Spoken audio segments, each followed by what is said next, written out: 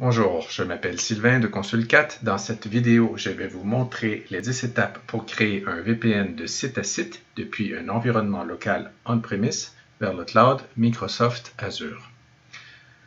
Pour ce faire, nous allons utiliser l'infrastructure suivante où on retrouve à droite l'environnement local, c'est-à-dire sur site, et de l'autre côté, à gauche, le cloud Microsoft Azure. Au milieu des deux environnements, nous voyons la partie qui nous intéresse dans ce tutoriel, c'est-à-dire le VPN, site, que nous pouvons considérer comme euh, un pont pour connecter les deux environnements euh, en un seul et unique réseau. Ou, si vous préférez, avec le VPN site, le cloud Azure peut être vu comme une extension du réseau local, puisqu'il permet à tous les serveurs locaux de communiquer avec tous les serveurs qui sont sur Azure. D'accord? Ils sont sur un même réseau. Ceci dit, j'expliquerai maintenant tous les composants nécessaires, un par un, pour pouvoir créer un VPN site à site vers Azure. Dans un premier temps, nous allons créer un ressource group, donc un groupe de ressources, dans lequel nous pourrons stocker tous les composants nécessaires que nous allons créer dans ce tutoriel. Ensuite, à l'étape 2, nous allons créer un Virtual Network, donc, désolé pour la prononciation euh, à l'américaine, c'est plus facile pour moi. Je ne suis pas français comme vous l'avez vu. Donc, un virtual network, c'est-à-dire un réseau virtuel.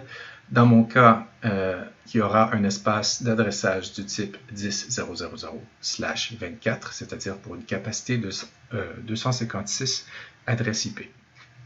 Puis, dans cet espace, nous allons créer un subnet que nous allons appeler défaut, donc default en anglais, et ce, sera le, subnet standard où on a tous les serveurs, donc tous les workloads donc, euh, que nous utilisons. Par contre, si vous regardez à l'écran, à droite de, ce réseau, de ce subnet défaut, vous voyez, il y a un petit euh, subnet appelé Gateway Subnet. Donc, ceci est nécessaire pour la création du tunnel VPN pour euh, pouvoir sortir du réseau de Azure. Donc, ça prend un Gateway Subnet. À l'étape 3, nous allons créer un Local Network Gateway, c'est-à-dire une passerelle de réseau local. Et donc ainsi, le terme local fait référence à notre routeur Internet local sur site ou on-premise si vous préférez. Donc ainsi, pour configurer le Local Network Gateway, nous utiliserons l'adresse IP du routeur local que nous avons sur site, donc notre routeur Internet. Et nous allons configurer ça sur le Local Network Gateway sur Azure. Ensuite, étape 4.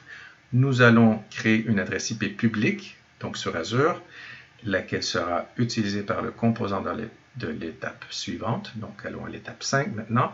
Étape 5, nous allons créer un Virtual Network Gateway, soit une passerelle de réseau virtuel euh, pour les amis français. Euh, et donc, ce Virtual Network Gateway va utiliser l'IP public Azure qu'on vient de créer juste à l'étape avant, donc l'étape antérieure à l'étape 4. Ensuite, étape 6, nous allons créer le VPN, c'est-à-dire le pont qui relie les gateways des deux réseaux, soit le réseau local sur site et le réseau d'Azure sur le cloud. Étape 7, nous allons créer une machine virtuelle Hyper-V sur Azure, donc une VM, que nous utiliserons à la fin pour tester notre VPN site à site. Ensuite, étape 8, nous allons configurer euh, la connexion VPN sur un serveur Windows local sur site, donc euh, vers Azure.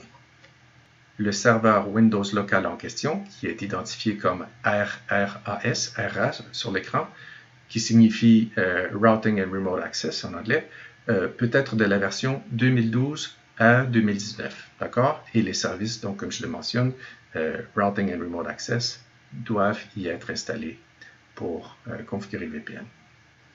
Ensuite, étape 9. Maintenant que le VPN est créé entre les deux sites, il ne manque plus qu'à indiquer au trafic local sur site comment rejoindre le réseau sur Azure. Donc, autrement dit, nous allons tout simplement créer une route statique. Et puis, pour terminer, dernière étape, l'étape 10, nous utiliserons euh, un serveur local sur site pour établir une connexion RDP vers notre VM sur Azure. D'accord? Allez. OK, donc on se connecte au portail, username and password, on se connecte à Azure et on arrive sur le dashboard. Et on va commencer avec la première étape. Donc on avait dit que la première étape, c'est la création du resource group, donc le groupe de ressources.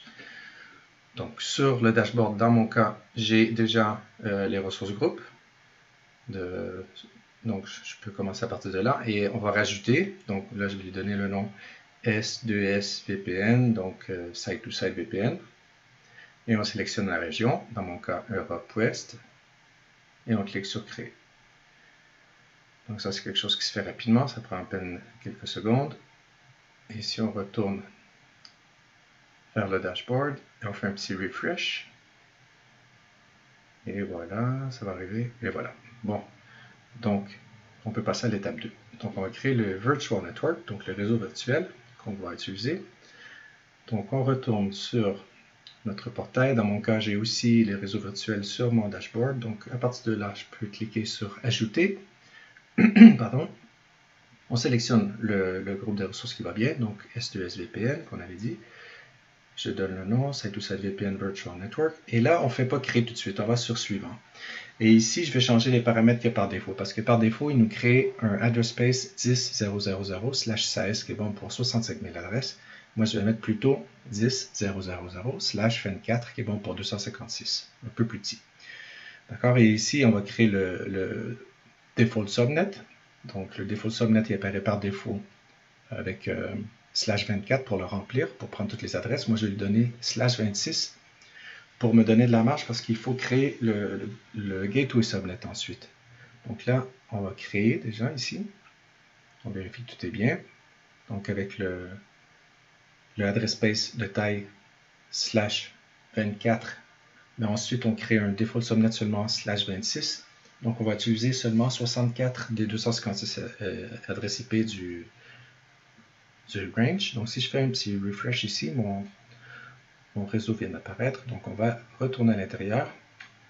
Et donc, comme je disais ici, le adresse space 10.0.24 qui est bon pour 256 adresses. Le subnet default qui est bon pour 64 adresses. Là, on voit 59 parce que euh, Azure en utilise 5. Et ici, ben, là, on va créer notre, notre le gateway subnet. Donc, par défaut, il met 64. Moi, je vais remplacer ça par 10.0.0.96 pour utiliser les dernières 16 adresses euh, du subnet, du, du space. Donc on voit 11 plus 5, donc 16 adresses. D'accord? Donc là, on va avoir notre default gateway et notre subnet gateway. Donc si on fait refresh, on voit bien gateway subnet. OK, on retourne au dashboard et on est bon pour passer à notre troisième étape. Donc la création du local network gateway donc l'icône en vert. Donc là, ici, on va aller en haut à gauche et on va aller dans Create Resources, créer des ressources, et on va écrire tout simplement Local Network Gateway. Donc on sélectionne, on fait créer, et donc ici, on va commencer par le nom, donc Local Network Gateway, là, vous voulez. Et ici, l'adresse IP, ça prend l'adresse IP locale on-premise, donc l'adresse locale de votre euh, routeur Internet. Donc, vous pouvez aller sur la page whatsmyip.org et puis tout simplement faire un copy-paste, copier-coller et mettre ça ici. C'est l'adresse qu'on a. On a besoin de l'adresse locale ici. Ensuite, le address space. Donc, euh, dans mon cas, j'en ai deux sur mon réseau on-premise, donc je vais mettre les deux. Donc, la classe C et la classe B, donc le 192.168.1.0/24 et ensuite le 172 16.0.0 slash 24. Mettre ça ici, boum. Et donc, euh, si, vous en, avez qu'un, vous en avez qu'un. Mais moi, dans mon cas, je veux que le réseau de euh, Microsoft Azure puisse voir mes deux réseaux euh, locaux que j'ai à la maison, donc ces deux réseaux-là. donc, on prend la ressource groupe et la région qui va bien, on fait create. On retourne dans le ressource groupe on voit notre Local Network Gateway en vert. Donc voilà, cela complète cette étape et on peut passer à l'étape 4, donc la création de l'adresse IP euh, publique sur Azure. On retourne sur le dashboard, on va dans Create Resources et on écrit Public IP Address. On clique sur Create et donc là, ici, c'est très simple. Il n'y a que deux choses à faire. Mettre le nom Donc voilà, le nom adresse IP public. On touche pas à DNS. Et ensuite, on choisit le resource group, toujours. Et la région était sélectionnée par défaut, toute seule, cette fois-ci. Donc, si on retourne sur le dashboard, on va dans le ressource group.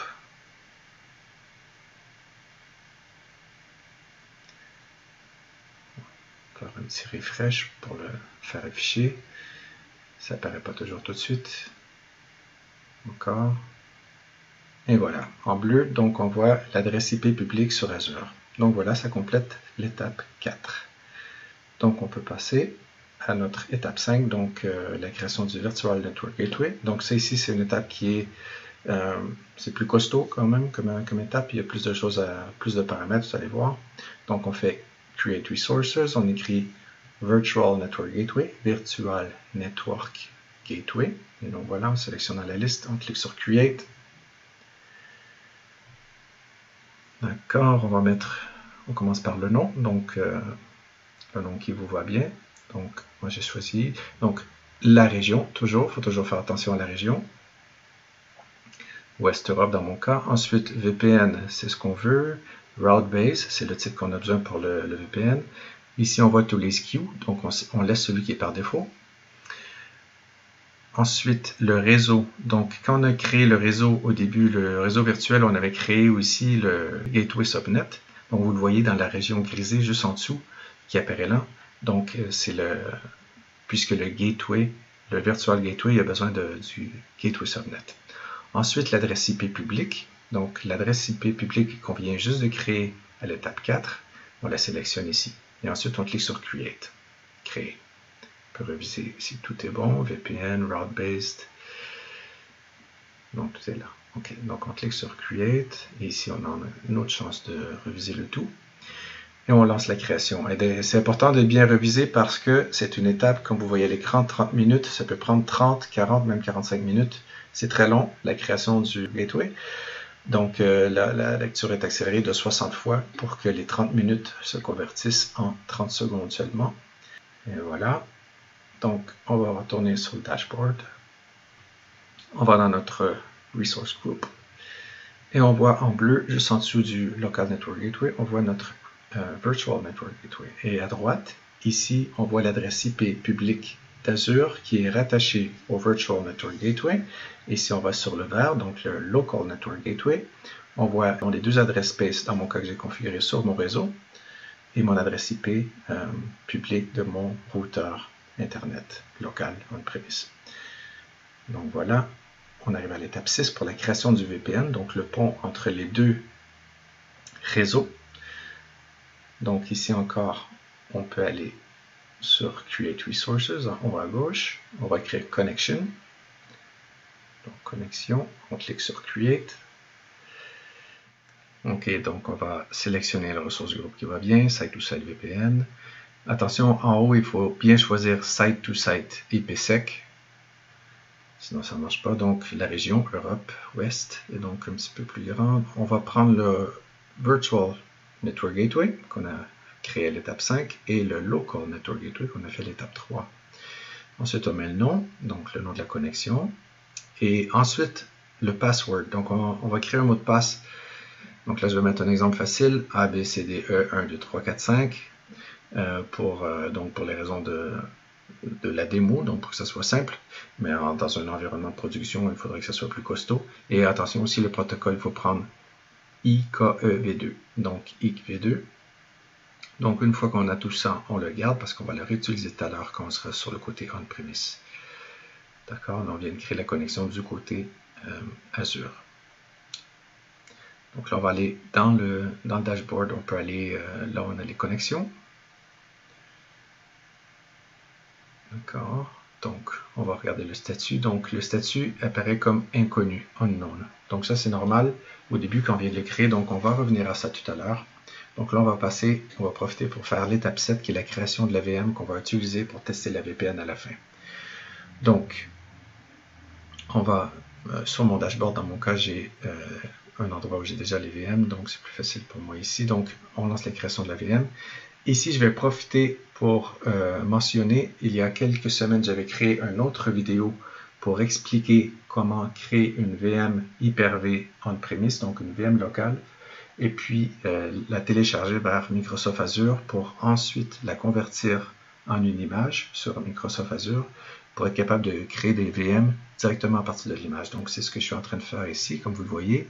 À droite, je sélectionne On-Prem VM Image.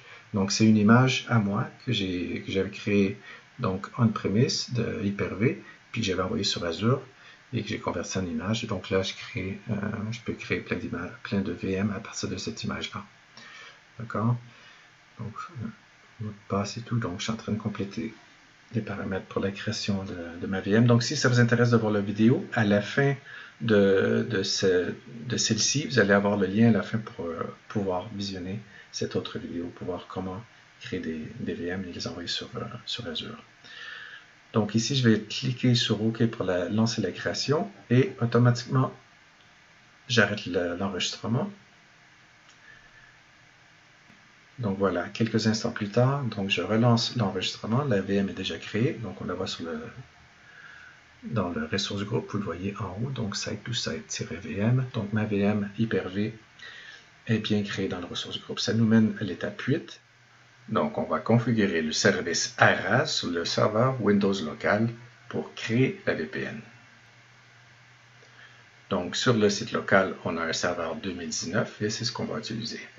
On va lancer donc Routing and Remote Access, la configuration, donc l'application, les services qu'on a besoin pour euh, la VPN.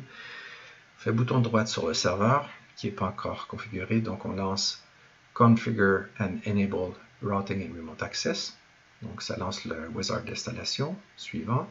On choisit Secure Connection Between Two Private Networks, donc sécuriser la connexion entre deux réseaux privés. On répond oui, donc par défaut ici. Ici, ça dépend de, vos besoins. Moi, je le laisse par défaut DHCP et on clique sur Terminer. Ça lance le démarrage des services. Et puis, ça va lancer automatiquement la deuxième phase de cette installation, la configuration. Donc cette première phase est déjà terminée. Donc voilà, la deuxième phase. Donc là, on va lui donner le nom à la VPN qu'on veut avoir. Donc moi, je vais mettre S2S VPN to Azure. Donc site-to-site VPN to Azure. Donc vous pouvez mettre euh, VPN vers Azure. Donc le nom qui vous voit bien. On choisit bien évidemment VPN. Ici, on choisit IKEV2 avec V2. Et donc ici, ça prend l'adresse publique qu'on a écrit à l'étape 4. Donc, vous retournez si vous ne l'avez pas sur votre euh, dashboard Azure. Donc, vous voyez l'icône bleue, donc euh, là on avait créé l'adresse IP tout à l'heure. Donc, à partir de là, vous pouvez faire un copy-paste, copier-coller. Donc, on a besoin de cette adresse publique pour que le serveur on-premise qui va créer la VPN puisse se connecter sur Azure et, et il sache à quel endroit il doit, à quelle adresse il doit parler. Donc, il doit parler à celle-ci cette IP. D'accord? Donc on fait suivant. Ici, on laisse comme ça. Ici, on va rajouter le address space qu'on a sur Azure. Dans mon cas, c'était 10.0.0.0.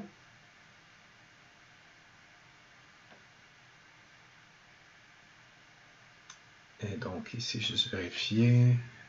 Ouais, c'est 255, 255, 0. Important de bien vérifier pour que ça coïncide. Et puis je vais lui mettre euh, ensuite un métrique de 24. Et donc on peut continuer. Voilà. Suivant. Ici, on n'a pas besoin de rien mettre, pas de user, password, domaine, rien, donc on finish. On clique sur terminer.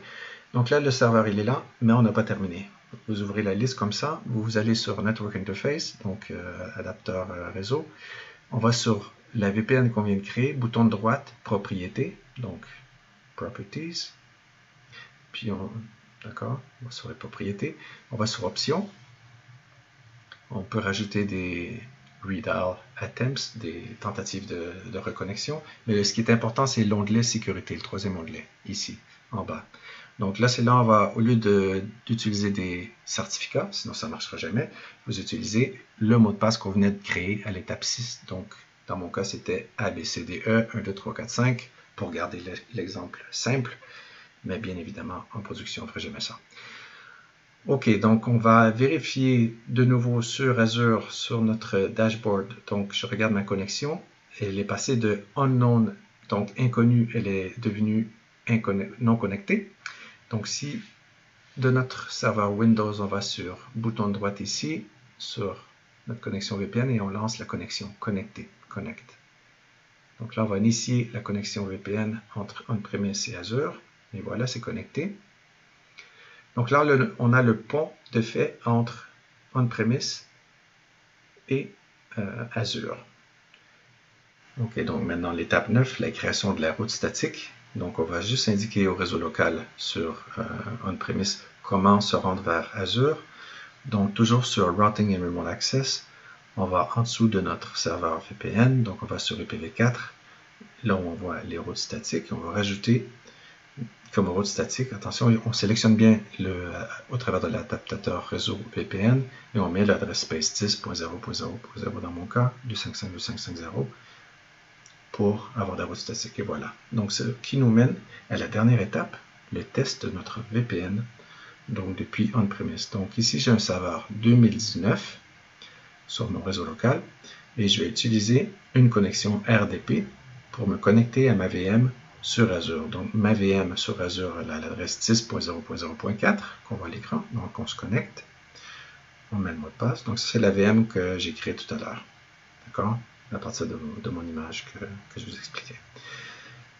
Voilà, on arrive sur le bureau de la VM sur Azure, donc au travers de la VPN. Donc, on n'a pas mis une adresse publique comme on ferait habituellement pour se connecter à une VM sur Azure. Je me suis connecté avec son adresse interne, donc 10.0.0.4. Maintenant, on va faire une autre étape dans l'autre sens pour euh, aller un peu plus loin dans notre test. À partir de la VM sur Azure, je vais mapper un, un network drive, je vais créer un lecteur réseau vers la machine 2019. Donc la machine 2019, elle est sur un réseau 172. Comme on a dit tout à l'heure, j'avais un réseau 192 et un réseau 172. Mais cette machine-ci, elle est, l'adresse est 172 .16.0.10. Donc, avec ces dollars. Donc, on se connecte avec le user password. Et depuis la VM Hyper-V sur le cloud, on va faire un lecteur réseau vers la machine locale. Et voilà, on voit le, contenu du disque. D'accord? On voit le contenu du disque on-prem depuis la machine dans le cloud, depuis Azure. Donc voilà, cela complète notre démo. Donc pour voir toutes les 10 étapes pour créer puis tester une VPN site à site depuis un environnement local on-premise vers Microsoft Azure. Donc pour conclure, nous avons créé un resource group à l'étape 1. À l'étape 2, on a créé un virtual network, donc un réseau virtuel. À l'étape 3, on a créé une passerelle de réseau local, le Local Network Gateway. À l'étape 4, on a créé une adresse IP publique sur Azure, laquelle est utilisée par le Virtual Network Gateway de l'étape 5, donc la passerelle virtuelle de réseau. L'étape 5 utilise l'adresse IP de l'étape 4.